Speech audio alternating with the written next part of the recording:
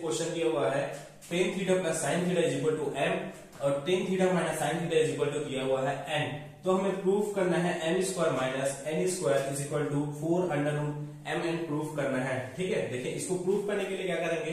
सबसे पहले देखिए, यहाँ पर दिया हुआ है m square minus n square ठीक है? ये हमें यहाँ पर हमको एम और एन का मान दिया हुआ है तो इसको हम लोग ऐसे कन्वर्ट कैसे कन्वर्ट कर सकते हैं? यदि एम का स्क्वायर करेंगे और एन का स्क्वायर करेंगे तो हम प्रॉब्लम होगा, ठीक है? इसको करने के लिए देखिए, यहाँ से दिया हुआ है, ये होता है हमारे पास a square minus b square ठीक है? इसको हम लोग क्या लिखते हैं? ए प्लस बी और ए माइनस बी लिख सकते हैं, ठीक है? वैसे ही m square minus n square को लिख सकता हूँ मैं, ठीक है? क्या लिख सकता हूँ? एम प्लस एन और m माइनस एन ठीक है?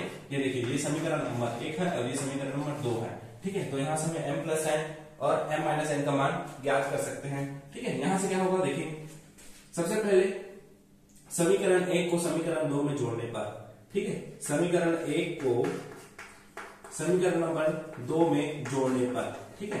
समीकरण नंबर एक को समीकरण नंबर दो में जोड़ने पर। देखिए, मैं हमेशा क्या करता हूँ, जोड़ने के लिए लेफ़्ट हैंड साइड को लेफ़्ट हैंड साइड के साथ जोड़ता हूँ राइट को राइट के साथ में, ठीक है? तो यहाँ पर क्या होगा देखिए, सबसे पहले लेफ़्ट हैंड साइड को लिख लेता हूँ एम प्लस एन ठीक है?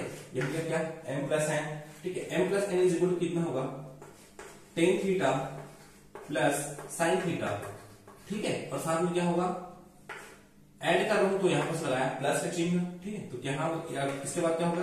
टेन थीटा माइनस का साइन थीटा ठीक है? जब ऐड करूँगा तो एक प्लस और एक माइनस हो गया कैंसिल ठीक है? ये देखिए साइन थीटा क्या होगा? कैंसिल और एम प्लस एन और एम माइनस एन का मान कितना होगा? Tan theta in plus tan theta तो यहाँ पर क्या हो गया? टू टेन थीटा आएगा, ठीक है? एम प्लस एन का मान. वैसे ही जब एम माइनस एन का मान निकालूँगा तो क्या होगा?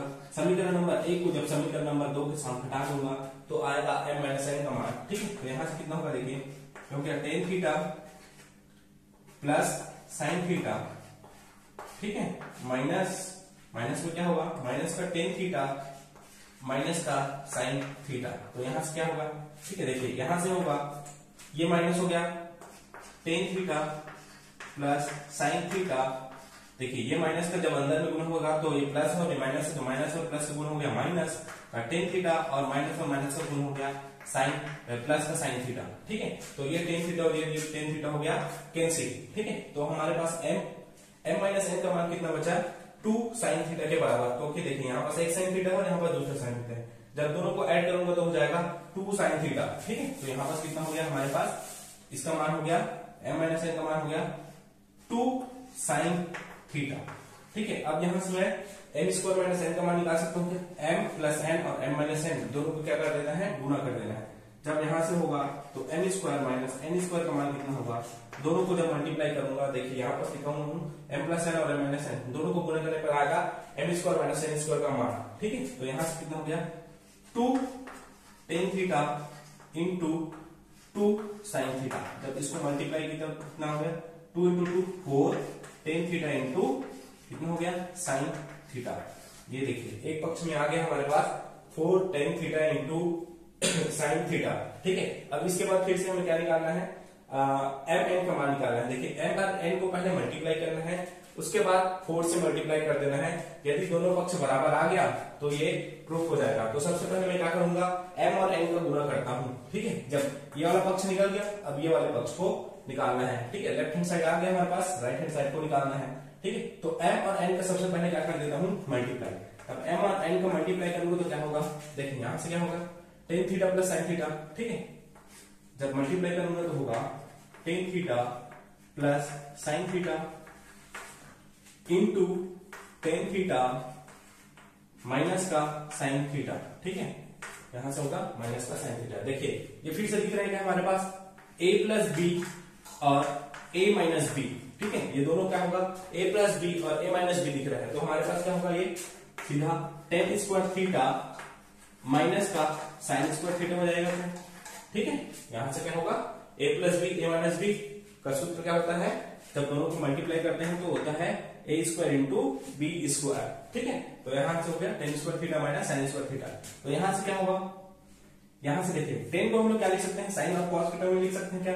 ठीक है तो यहाँ से क्या होगा? इसको लिख सकते हैं हम लोग साइन स्क्वायर थीटा डिवाइड में कॉस स्क्वायर थीटा माइनस में क्या होगा?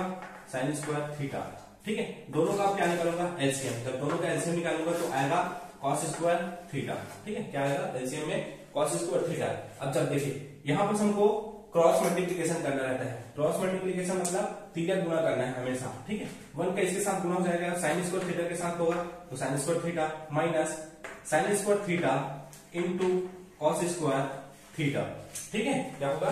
Sine square theta minus sine square theta into cos square theta यहाँ से मैं साइन स्क्वायर थीटा को क्या निकाल सकता हूँ? कॉमन जब साइन स्क्वायर थीटा को कॉमन निकालूँगा तो बचेगा कितना? One minus cos square theta divide में आएगा कॉस स्क्वायर थीटा ठीक है? अब क्या कर सकते हैं हम लोग? इसको ठीक है? देखिए, हमको लाना है four tan theta into sine theta के बराबर। ये तो अभी एम एन का मान है। ठीक है? यहाँ से देखिए one minus cos square theta होगा कितना? ठीक है? One minus cos square theta तो हम लोग क्या लिख सकते हैं?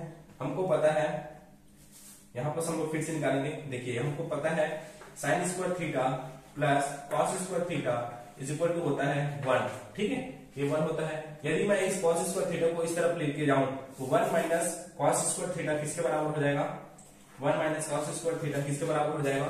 साइन स्क्वायर थीटा के। ठीक है? इसको आपको बोर्ड के पेपर में साइड में बॉक्स बना के लिखना है कि sine square theta plus cos square theta is equal to one होता है। तो one minus cos square theta को हम लोग लिख सकते हैं, साइन स्क्वायर थीटा। ठीक है? अब इसको हम लोग रिप्लेस कर देंगे। One minus cos square theta को रिप्लेस कर देंगे। साइन थीटा इंटू ये हो जाएगा हमारे पास साइन स्क्वायर थीटा डिवाइड में क्या आएगा हमारे पास कॉस स्क्वायर थीटा। ठीक है क्या आएगा हमारे पास? कॉस स्क्वायर थीटा अब ये हो गया हमारे पास एम एन का मान, ठीक है? ये क्या हो गया हमारे पास? एम एन का मान हो गया। जब एम एन का मान पता चल गया है, ठीक है? तो हमको किसका मान निकालना है अब? अंडर रूट एम एन का मान निकालना है। अंडर रूट करने के लिए क्या करूँगा मैं? दोनों पक्ष का इसको क्या लिख सकता हूँ? देखिए, यहाँ से मैं इसको कन्वर्ट कर सकता हूँ एम एन को, ठीक है? एम एन को क्या कर सकता हूँ? साइन थीटा इंटू कॉस बटे में कॉस थीटा ये क्या होता है? हमारे पास टेन थीटा के बराबर होता है, ठीक है? तो इसको क्या लिख सकता हूँ मैं? Tan square theta into sine square theta क्योंकि ऐसा क्यों हुआ है? क्योंकि एक साइन थीटा और एक कॉस थीटा को मिलकर बनता है टेन थीटा तो यहाँ पर दो साइन थीटा और दो कॉस थीटा है। स्क्वायर है तो मिलकर बनेगा टेन स्क्वायर थीटा ठीक है? यहाँ से हो गया एम और एन का मान हो गया हमारे पास tan square theta into sine square theta क्या हो गया? एम और एन का मान हो गया है tan square theta into sine square theta ठीक है? हो गया साइन स्क्वायर थीटा अब देखिए, हमको क्या मान निकालना है? फोर एम एन का। तो सबसे पहले मैं इसका अंडर रूट कर लेता हूँ, ठीक है? इसको क्या कर लेता हूँ? अंडर रूट करूँगा ठीक है? क्योंकि फोर से पहले मल्टीप्लाई क्यों नहीं हूँ क्योंकि पहले अंडर रूट है, ठीक है? एम एन में क्या है? अंडर रूट तो सबसे पहले क्या निकालूँगा? अंडर रूट निकालूँगा तो ये हो जाएगा under root of tan square theta into sine square theta ठीक है? तो यहाँ से देखिए, ये वर्ग और वर्गमूल एक दूसरे के ऑपोजिट होते हैं।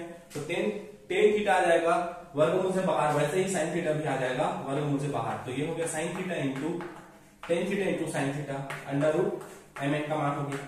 ठीक है? अब जब मैं इसमें फोर से मल्टीप्लाई करूँगा, दोनों पक्ष में चार से गुणा करने पर तो क्या होगा? Four under root of M N ठीक है? इज़ इक्वल टू क्या होगा? Four tan theta into sine theta होगा क्या ठीक है? देखिए, अब हमको प्रूफ ही करना था कि M square minus N square किसके बराबर दिख रहा है।